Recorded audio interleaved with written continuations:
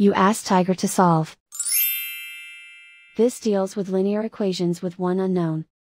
The final result is w equals negative 9 over 8. Let's solve it step by step. Group all constants on the right side of the equation. Subtract 27 from both sides. Simplify the arithmetic.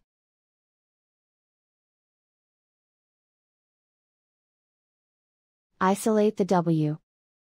Divide both sides by 24. Simplify the fraction. Find the greatest common factor of the numerator and denominator. Factor out and cancel the greatest common factor. And so the final result is w equals negative 9 over 8.